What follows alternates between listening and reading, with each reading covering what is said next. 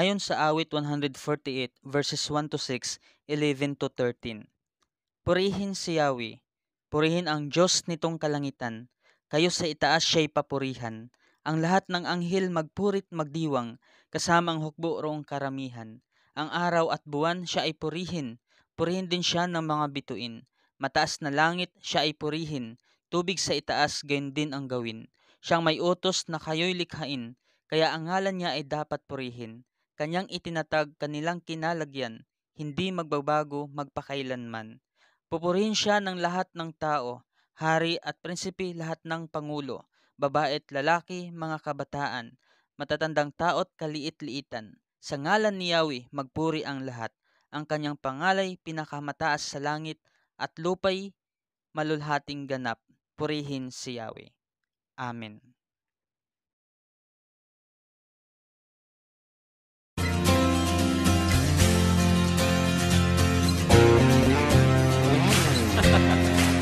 Our joy, our hope, our confidence is in Jesus. He's our firm foundation. Jesus, you're my firm foundation.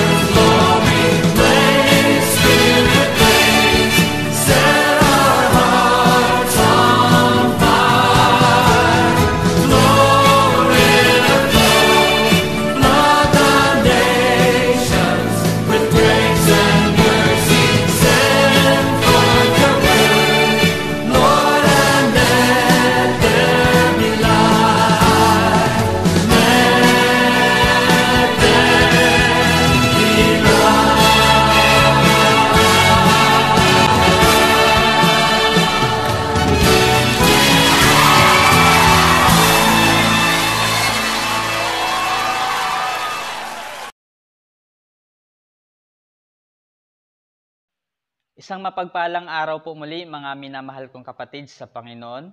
Salamat po sa Diyos at tayo po muli ngayon ay nagkakasama-sama upang siya po ay dakilain at pasalamatan sa pamamagitan ng pag-aaral natin ng kanyang banal na salita. Muli, ang aking patuloy na panalangin sa inyo, naway kayo po ngayon ay nasa mabuting kalagayan ayon po sa habag at biyaya ng ating Panginoon. Nitong mga huling pag-aaral po natin ay mas lalong nagkaroon ako ng interest sa mga future events. Nung una ay I'm more than eager and excited sapagkat isang napakalaking pribilehyo po na magkaroon ng glimpse sa mga ito. Kumbaga, ikaw ay may perspective na sa buhay na ito, especially ang malamang ganito pala ang mga mangyayari sa hinaharap. Pero the more I know, the more I feel my limitations. Kaya nga, ang masabi ko lamang sa inyo, hindi man ito naging madaling pag-aaralan, pero sulit naman ang kinalabasan. Ako nga ay may uh, nakausap na isa sa ating mga kapatiran and I feel yung excitement niya yung habang nagsishare po siya doon sa kanya pong natutunan. At uh, katulad po ng marami po sa, sa inyo, ay siya din ay nahirapan na maunawaan yung mga pagkakasunod-sunod po sa mga mangyayari sa hinaharap. Pero, with sincerity and smile, ang sabi po niya, basta dapat lagi akong handa. Marahil ang ilan po sa inyo ay nagsabi rin ng ganito, basta dapat lagi akong handa. Nanawaan ko po yung feeling na ganito sapagkat ganun din naman po yung nasa puso ko na dapat lagi akong handa. Pero habang pinag-aralan ko po itong tatalakayin natin today, um, ako po'y nagkaroon ng katanungan sa aking sarili. Ano kayang paghahanda ang gagawin ko na mag-materialize in the future? Naisip nyo din po ba yon? Ano kaya yung mga gagawin kong preparation ngayon?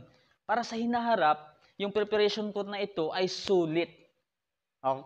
Yun po, And sa ngayon po, yung ating pong tatalakayin na pamagat ay the bima or judgment seat of Christ.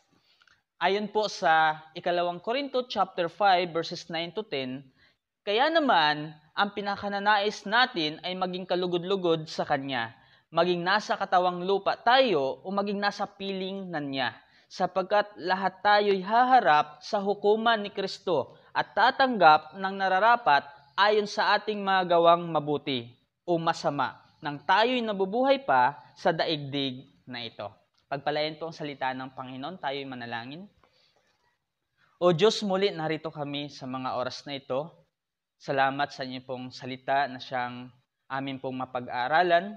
Dalayan ko nga po, Panginoon, na kasyang patuloy po na magbigay ng karunungan sa bawat isa. Lord Holy Spirit, naway Um, kayo po ang manguna sa aming kalagitnaan. Katagpuin niyo po ang aking mga kapatid ayon po sa kanikanila pong mga pangangailangan. At nawa ang inyong pong mensahe ay patuloy po na magkaroon sa amin ng transformation nga po. Magbigay po sa amin ng pagbabago po sa mga perspektibo po ng aming mga buhay. O Diyos, ganun din po, ako'y itago sa inyo pong likuran, kaya lamang po siyang patuloy po na maitaas at malulhati sa mga oras na ito. Purihin po kayo, salamat Panginoon, ito ang aking panalangin sa pangalan mo, Jesus. Amen. Dito po sa ating pong pag-aaralan na pamagat ay napakahalaga po dito po sa maganap na sa mga future things na pagkakasunod-sunod. Kung naalala niyo po sa mga huling pag-aaral natin, tayo po ngayon ay nasa ilalim na ng biyaya ng Panginoong Heso Kristo. Ang ating kaligtasan ay hindi po sa pamamagitan ng ating mga gawa, kundi ito po sa pamamagitan ng biyaya ng Panginoong Kristo. Matapos tayong maligtas sa pamamagitan ng pananalig sa Panginoong Hesus, bilang mga ligtas sa hinaharap po nakalaan na tayo po'y tatayo sa harapan ng judgment seat ng Panginoong Kristo. Oo kapatid, tama ang iyong narinig. Haharap pa rin tayo sa hukuman ng Panginoong Kristo na kung saan bilang ating Diyos at tagapagligtas during the time, siya po ang ating hukom. At syempre po, um, ang ating pong pagharap doon ay titingnan kung ano po yung naging buhay natin dito sa mundong ito. Kung kumusta po yung naging buhay at pamumuhay natin na nasa ilalim po ng biyaya ng ating Panginoon. Dito po sa picture ng ating timeline, makikita po natin na matapos po yung rapture, ang kasunod po agad nun ay the bema seat of Christ or the judgment seat of Christ.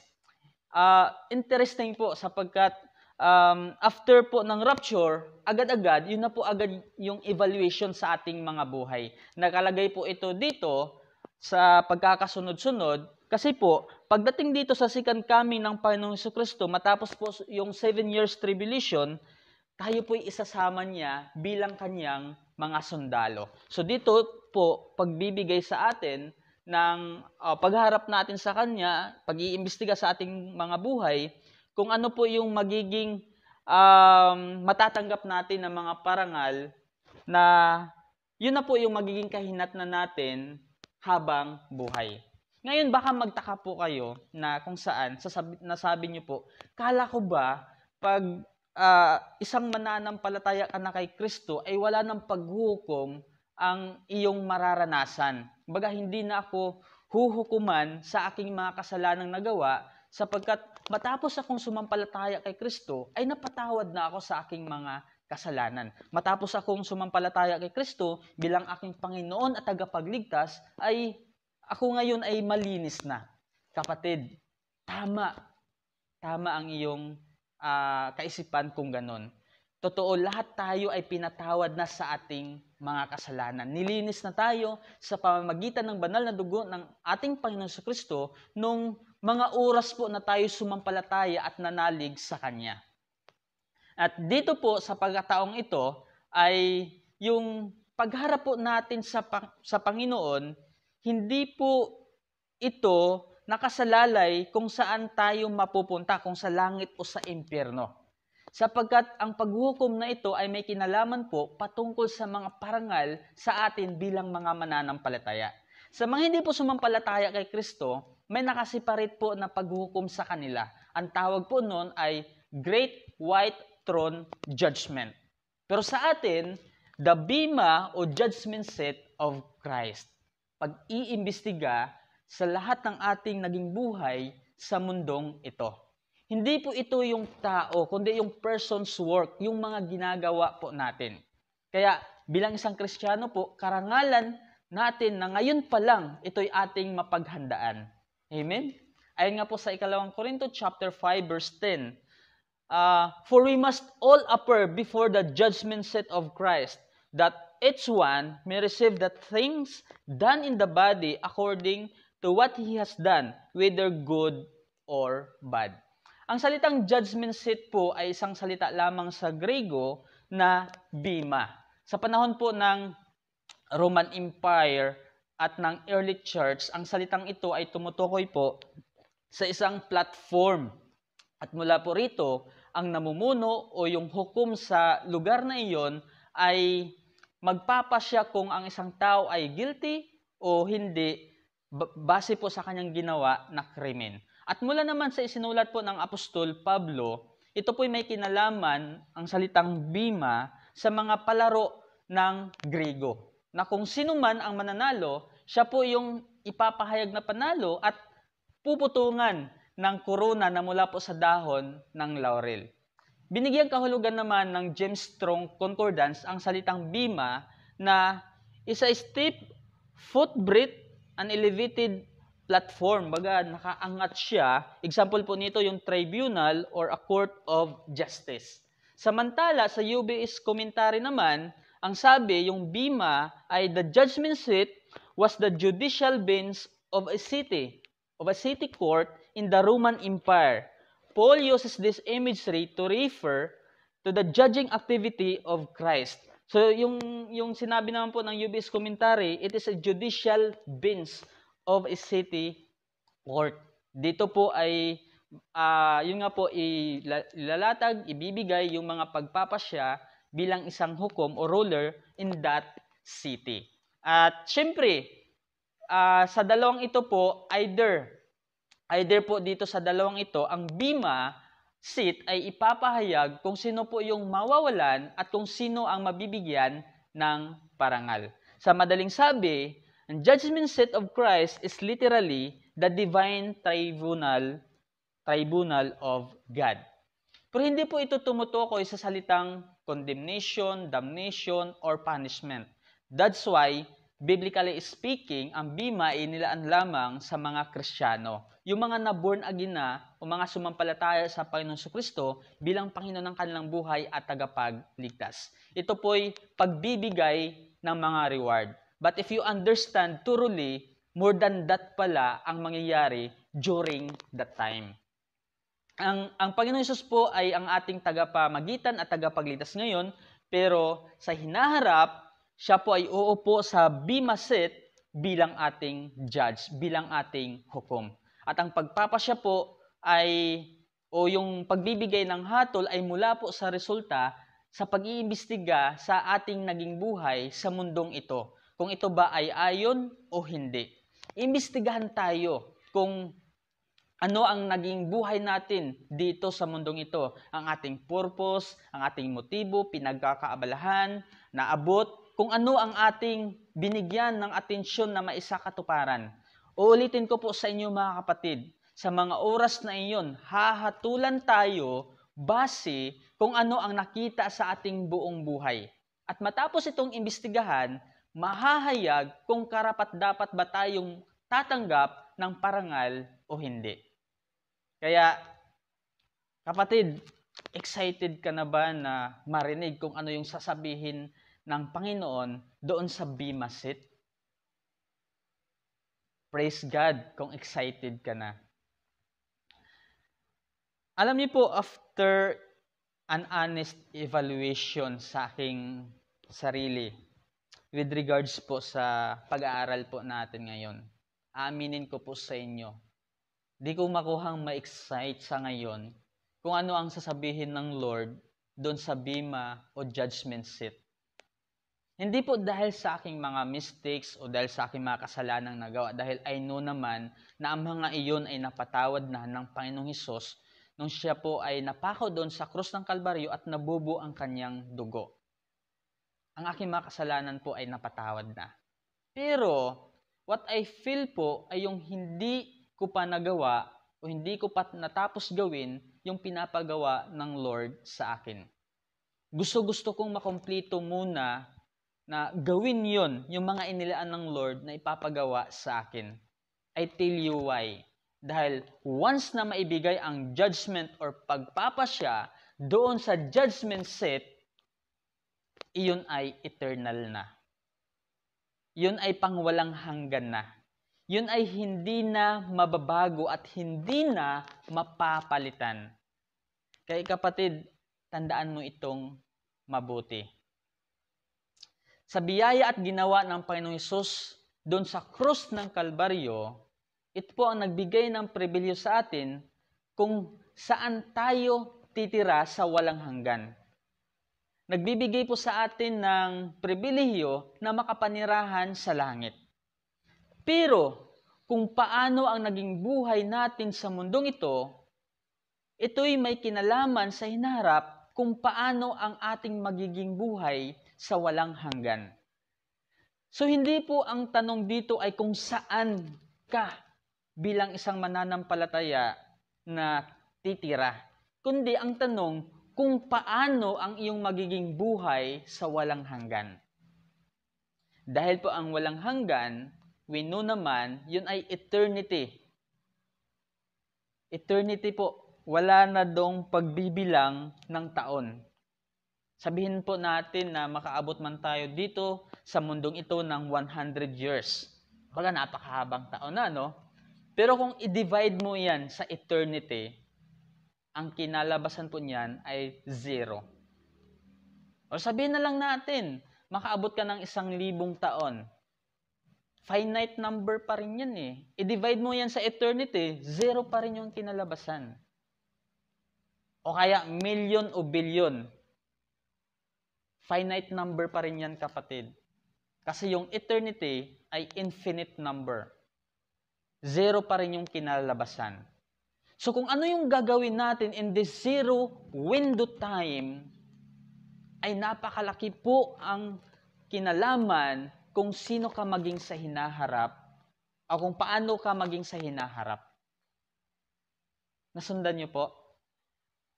Kaya napakahalaga na ngayon pa lang, ito'y ating paghandaan. Na bago tayo haharap sa hukuman ng Panginoong Heso Kristo, ay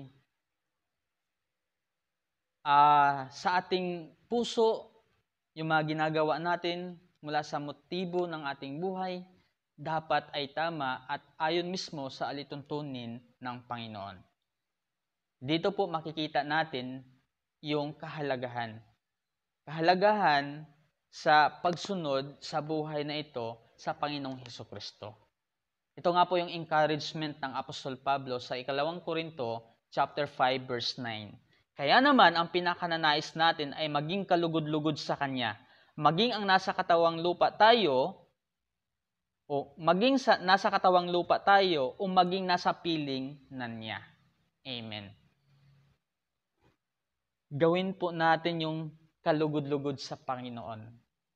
Sa buhay na ito, ngayon pa lang, isa po yan sa mga preparation na pwede po nating gawin. Ngayon, ang next question, ano ang ating mga ipagsusulit? Ipagsusulit po natin sa sinabi po ng Apostol Pablo ay yung ating mga gawa. Ayon pa rin sa ikalawang Korinto chapter 5 verse 10, sapagat lahat tayo'y haharap sa hukuman ni Kristo at tatanggap ng nararapat ayon sa ating mga gawang mabuti o masama, nang tayo'y nabubuhay pa sa daigdig na ito. So, tatanggap tayo may kin- ng parangal na may kinalaman po sa ating mga gawang mabuti o kaya ay masama.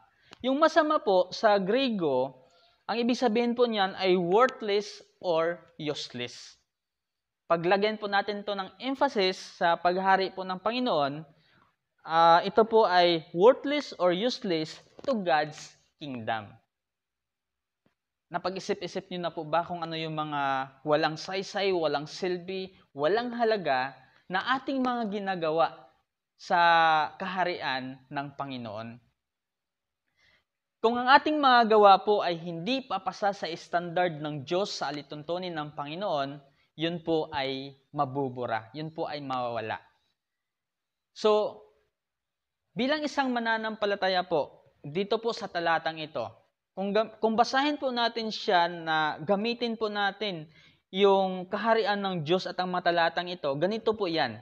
Sapagkat lahat tayo'y haharap sa hukuman ni Kristo at tatanggap ng nararapat ayon sa ating mga gawang mabuti o ayon sa ating magawang walang saysay, walang silbi, o walang halaga ng, sa kaharian ng Diyos nang nabubuhay pa tayo sa daigdig na ito. Ganun po yung message po.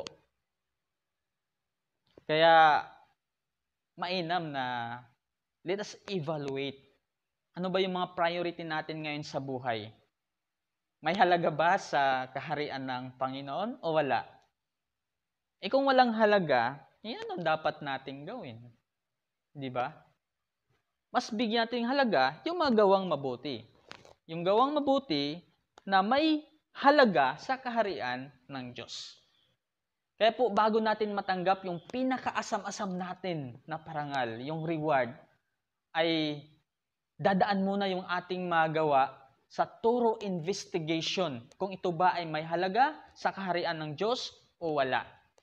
Sa kasulatan po, ang buhay ng isang tao ay o ng bawat mananampalataya ay madalas ito'y inihantulad sa isang gusali na may parehong pundasyon na walang iba kundi ang ating Panginoong Heso Kristo.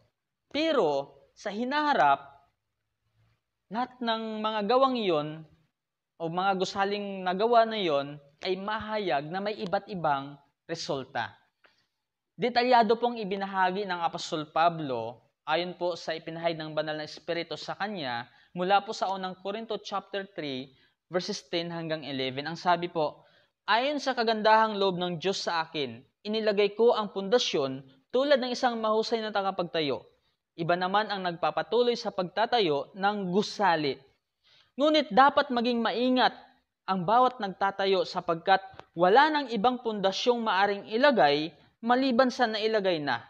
Walang iba kundi si Jesu Kristo. Sa pagtatayo ng gusali, kung yung pundasyon po ay mababaw o kung gamitan po natin ng um, mga materialis po na mahina, di po tatagal yung gusali. Later on, magkukulaps po iyon.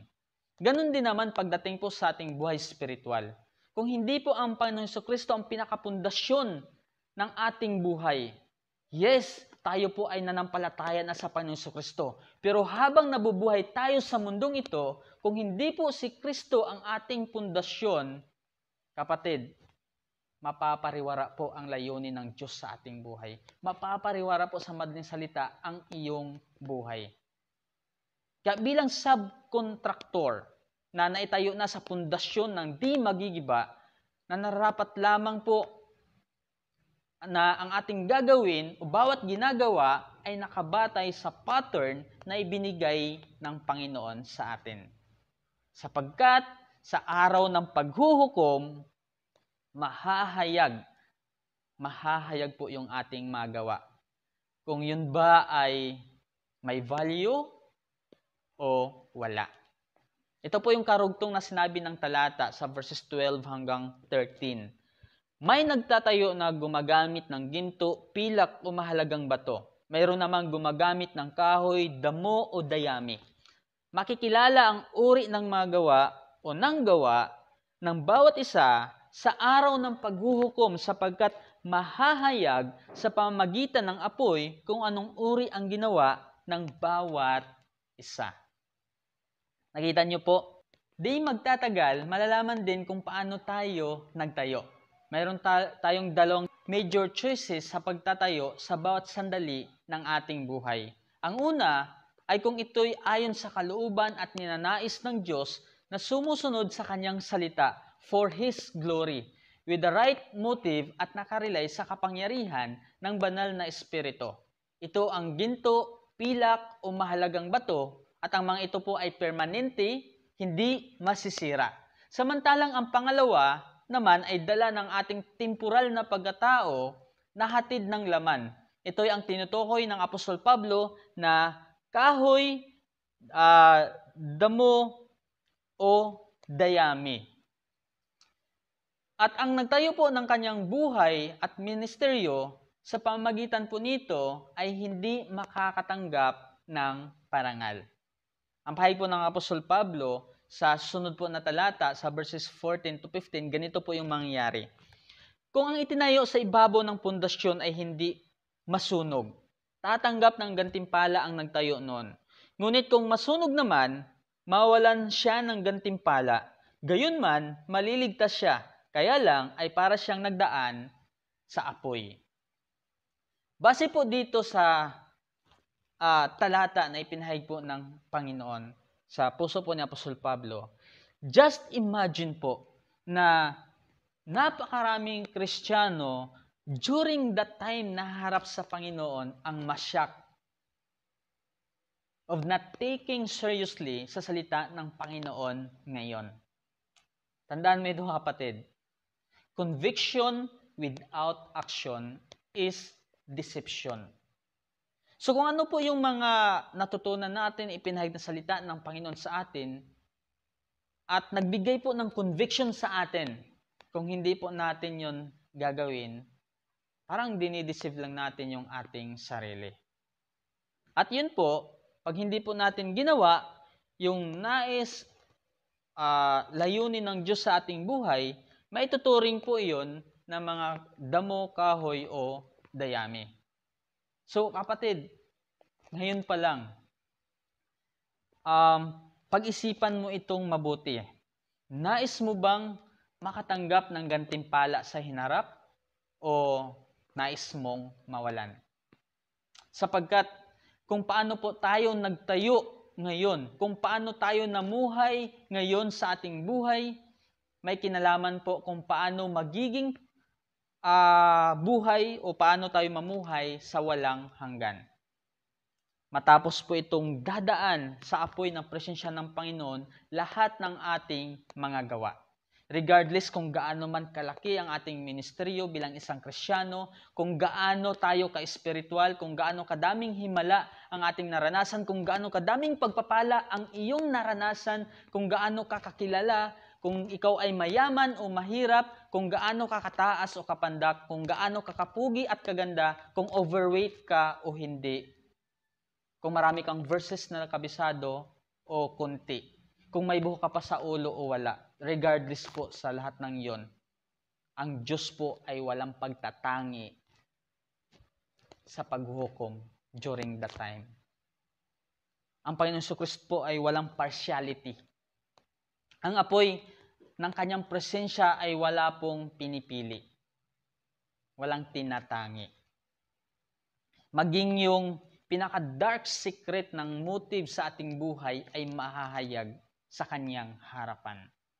At alam natin na kung ito'y walang saysay, walang silbi, walang halaga sa kaharian, o ito po ay worthless, lahat po ng iyon ay matutupok.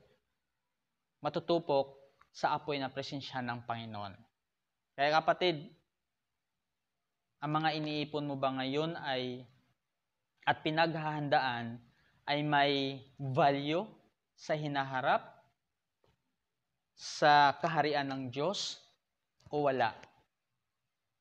Kung wala pong value, mas mainam po siguro, magkaroon po kayo ng honest evaluation sa inyo pong buhay. Magkaroon po kayo ng pagsisiyasat. And um, magbigay po ng tamang pa-shot decision. Ano ba yung i-priority ko sa buhay na ito? Ano ba yung bigyan ko ng halaga? Katunayan nga po niyan, batid naman po natin eh na bilang isang tao, ngayon may mga preparations tayong ginagawa uh, para pag tayo tumanda na o nagkaedad na, ay may mga makukuha tayo na mga uh, benefits. Tama po, di ba? Yung ilan po sa atin, may mga benefits na po na, mat, na natatanggap mula po sa government dahil po sa kanilang uh, naipon nung sila sa kanila pong kabataan. So may preparation po nung uh, sila pa po ay nasa kalakasan. Natatanggap po 'yun. Kaya lang ang buhay po natin ito, dito sa mundong ito, ay temporal lamang. Temporal lamang siya. Why not na yung paghandaan po natin ay yung pangwalang hanggan? Di ba? Amen po? Meron pong dalawang major categories na gagawing judgment. Two major categories na judgment po sa mga mananampalataya. Base po sa talatang ating natunghayan kanina. Una ay ang ating pakikibahagi sa pagtatayo ng kaharian ng Diyos alinsunod sa ating calling and gifts. Okay. Dito po, marami kasi mga Krisyano ngayon ay hindi na isinasagawa ang calling ng Diyos sa Kanya o kaya di na ginagamit ang kaloob na regalo. Darating, darating ang panahon kung hindi na po natin pinapraktis ang calling at yung kaloob na regalo ng Diyos sa atin, magiging dormant ito. At ang Diyos ay hahanap ng iba at tatawag ng iba upang isa katuparan niya yung ibinigay po sa atin na uh, proyekto, yung layunin sa ating buhay. Kung ito po'y mangyari, tayo po'y mawawalan. So ang una po na judgment ay may kinalaman sa pakikibahagi natin sa kaharian ng Diyos. And pangalawa, ay kung paano na itatag ang ating individual na buhay. Kung kumusta po yung naging impluensya natin at kung paano natin ginamit ang biyaya ng Diyos sa pagtatag ng ating katangian into Christ-likeness. Na sa ngayon po ay makikita sa bunga ng ating buhay. With regards sa dalawang ito, yung pakikibahagi natin sa kaharian ng Diyos at yung pagtatag ng ating buhay, dito po tayo huhukuman ng Panginoon. O sa simpleng salita, bibigyan ng parangal. At ang pinaka-interesting moment po sa tuwing ihahayag na ng Panginoon ang evaluation, investigation sa ating mga buhay, ang mga tapat po ay makarinig mula sa Lord ng salitang, Well done, my good and faithful servant. Wow! At makakatanggap po sila ng anumang klase sa limang koronang ito. Ang crown of righteousness, crown of glory, crown of life, incorruptible crown, and crown of rejoicing. Nais niyo po bang magkaroon po ng mga ganitong corona, kapatid? Then, let's heed the word of the Lord. Sundin po natin yung salita po ng Panginoon. At kapatid, kung ikaw po ay nagpupursigi na makatanggap sa mga koronang ito, kung ikaw po ay namuhay ngayon ayon sa alituntunin ng Panginoon, ito po ang ipinapahayag ng banal na Espiritu sa ikalawang Timothy chapter 2 verse 5. Similarly, if anyone competes as an athlete, he does not receive the victor's crown unless he competes according to the rules. Unless he competes according to the rules ang ating pong pagtsatsaga, pagdi, pagtitiis, pagdidisiplina sa ating sarili at pagiging tapat ang siyang magpapanatili po sa atin sa alituntunin at pagkatawag po ng Diyos sa ating buhay.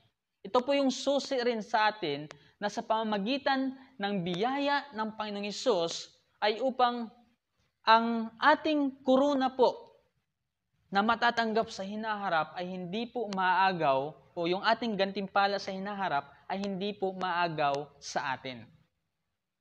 Kaya napakahalaga po na we should compete according to the rules. At ano po yung rules na inilatag po sa atin? Makikita po natin dito po sa Biblia. Malalaman po natin yung kalooban po ng Diyos sa pamagitan po sa ipinahig po ng kanyang salita. At ang rules po mismo ng Panginoon sa atin na magpapanatili po sa atin habang tayo po'y tumatakbo sa linya po na meron tayo ay napakahalaga. Tandaan niyo po yan, kapatid. Ang pahayag nga po ng Panginoon, Panginoong Hesus, sa pahayag chapter 3, verse 11, Darating ako sa lalong madaling panahon, kahit ingatan mo ang matagubilin ko sa iyo, upang hindi maagaw ni numan ang iyong gantimpala. Wow! Kapatid, yung word na ingatan. In English translation po, the message, sabi ng Panginoon Jesus, I'm on my way. I'll be there soon. Keep a tight grip on what you have so no one distracts you and steals your crown. Ingatan or keep a tight grip. Yung ibinigay po sa atin ng Panginoon na alituntunin, at sung tayo po ay nakatayo sa isang pundasyon na di masisira at di magigiba so that yung gantimpala po natin sa hinaharap ay hindi po maagaw po sa atin. And of course, para matanggap po natin yon, hindi po dapat tayo magpa-distract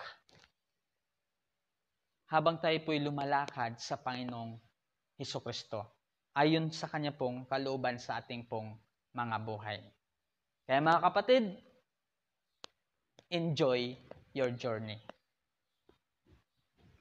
Tayo po'y manalangin.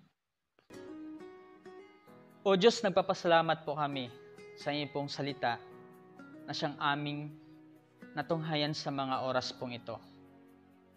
Salamat, Panginoon, sa liwanag po na hatid po na sa buhay pong ito, kami nga po ay napakahalaga na kami po'y maghanda at yung paghahanda nga po, Panginoon, na may value po sa hinaharap, magmaterialize po sa hinaharap.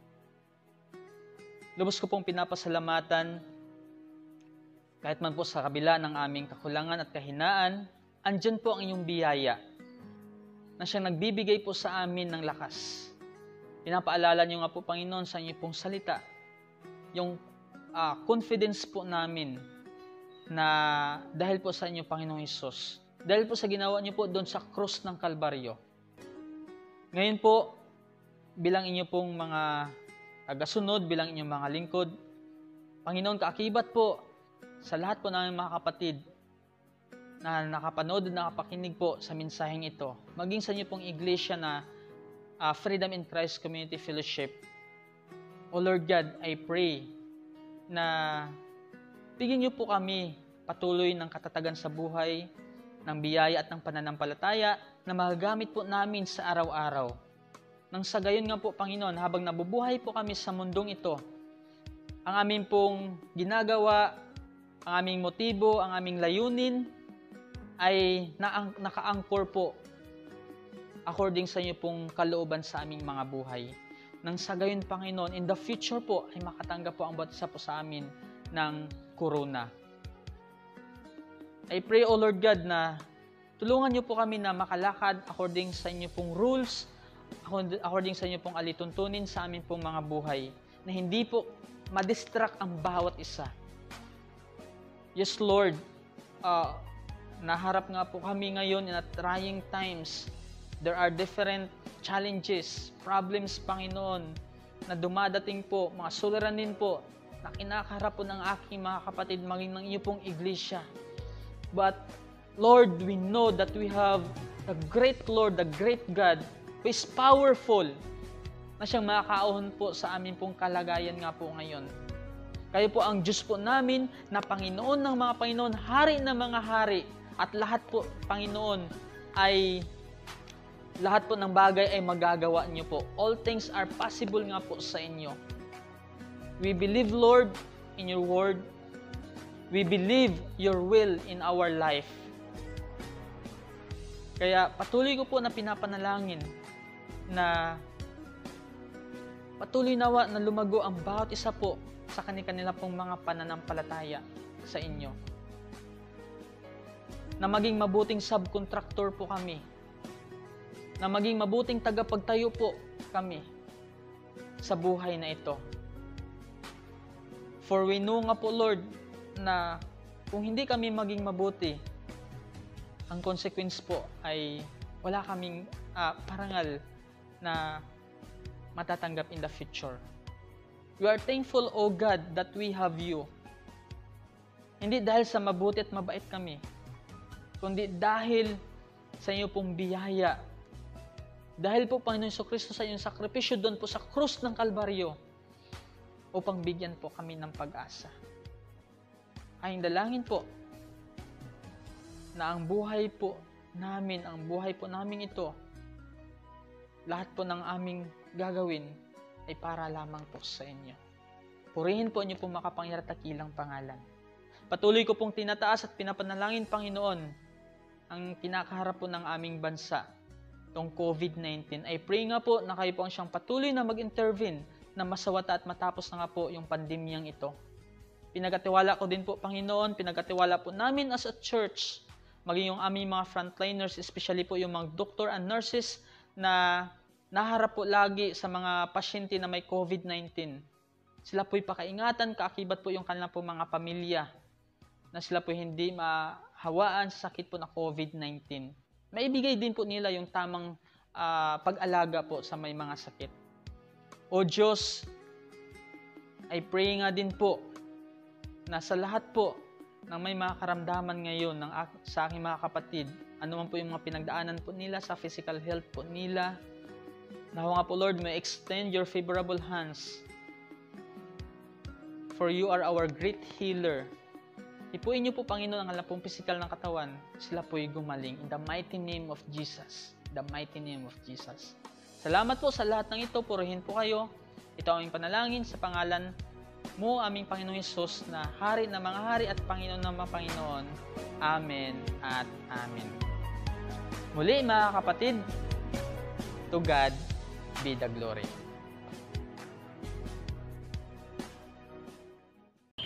Mga kapatid, bahagi ng ating pagsamba ay ang pagbabalik ng ating mga natanggap na biyaya mula sa ating Panginoon. Ito yung mga ikapo at kaloob. Ito naman ang sinasabi ng, ng salita ng Panginoon mula sa Biblia. Sa ikalawang Korinto, chapter 9, verse 8. Magagawa ng Diyos ang pasaganain kayo sa lahat ng bagay at higit pa sa inyong pangailangan upang sumagana kayo para sa mabuting gawa. Kaya ihanda naman natin ngayon ang ating mga kaloob, ihulog natin sa ating mga basket. Kung nahihulog na po natin, mga kapatid, sabayan niyo naman po ako para ipanalangin natin ang mga kaloob na ito. Panginoong Jesus, kami po ay nagpupuri at nagpasalamat sa inyo dahil nga po sa inyong kabutihan sa amin sa buong saming linggong to. Tinataas ko po ngayon sa Panginoon sa inyo ang mga ikapo na nandito ngayon sa aming harapan. Pagpalain niyo po ito at nawa nga po Panginoon ay magamit nga po ito para sa iyong pangailangan. Ingat, pakaingatan niyo rin po Panginoon maging yung nag- may hawak nito Panginoon.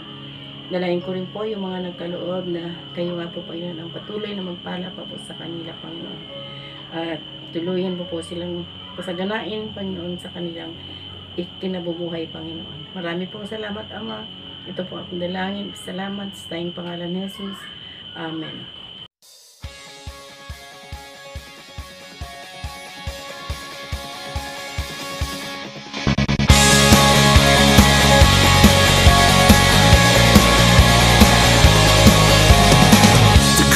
day in history. Death has beaten, you have rescued me. Sing it out, Jesus is alive. Empty cross and empty grave. Life eternal, you have won the day. Shout it out, Jesus is alive.